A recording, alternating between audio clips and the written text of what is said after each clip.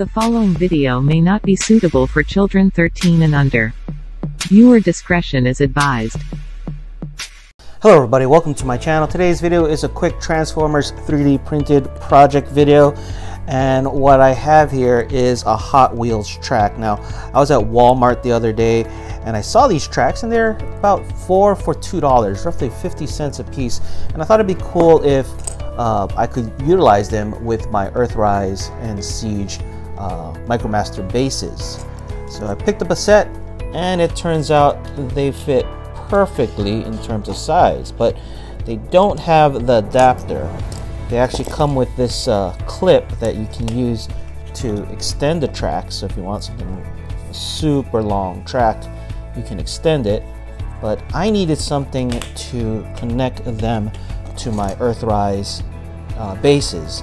Um, now, normally you could buy a bunch of sound barriers. I, I have three of them here, but as you can see, three, I, I need about five to make up this length, and I'm talking about $25 worth of sound barriers.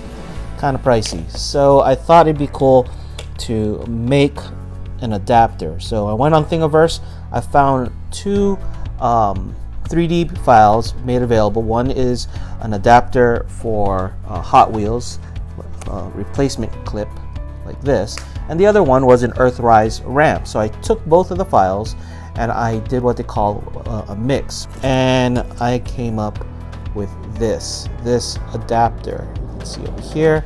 This end goes for the Hot Wheels track, and this end can connect with Earthrise ramps. See if I get it going, like so. Now you can see I have this little um, peg here. That's if you kind of want to make it more permanent. I, I, find if you leave the peg on, it's, it's very difficult to remove. So for me, normally I just clip it off, depending on what you want to do it with it for. That makes that way it's a lot easier to remove, like so. And from there, you can connect an Earthrise, uh, ramp sound barrier and have your extended ramp. Now, I printed a bunch of them and I got a bunch of, um, let's see over here, all the ones I printed.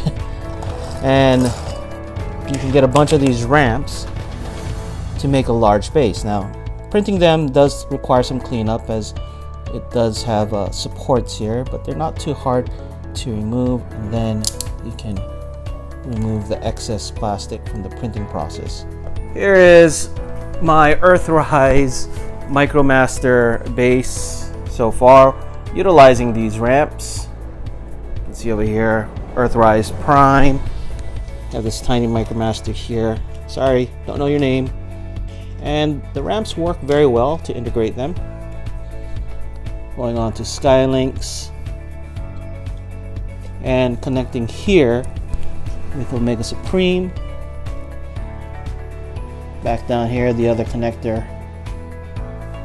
And then here with Astrotrain, Grease Pit, and Earthrise Prime. Now, this connector is the bridge that connects both Titan's Returns and Earthrise. So this is the older uh, connecting piece.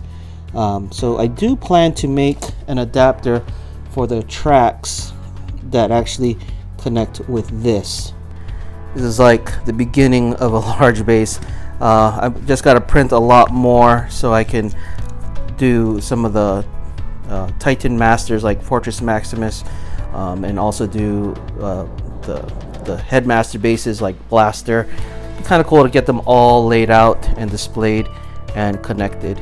Anyway, that is it for this video. Let me know what you guys think in the comments below and thanks for watching. If you enjoyed this video, please give it a like and subscribe. Follow us on social media and check out our Discord. Links in the description below.